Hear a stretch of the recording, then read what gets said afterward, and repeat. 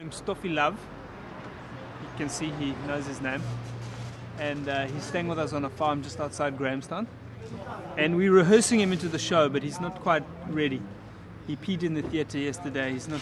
He's a bit shy. You can see he's a bit camera shy as well. Last year I had a show called Anyone Seen My Goat, which was uh, which was about a white sangoma looking for his goat because um, we pupili bogo close no he dreamed a goat and then he must find the goat. Ukuqali goat.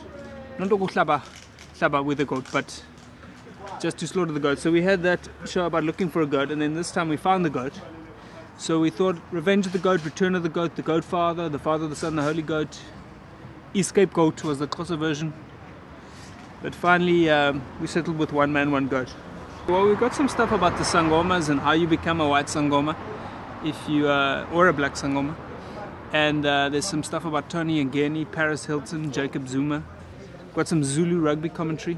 Zimbindaba madoda baphula polisi lapha eNewlands amabhokobhoko badlala nama-wallabies apha ku-tri nation sombekuqala umdlalo losuka lahlala babadoda babhabule bobby Skinstad udangerous kakhulu ubhaleke yonke ifield udiver eswimming pool Laduma!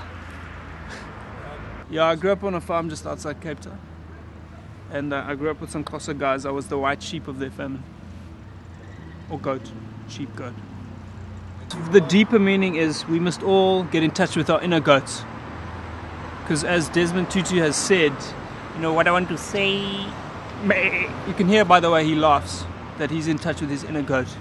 And as South Africans, you, you know, it's very important.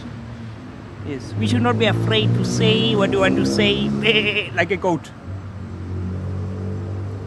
hat.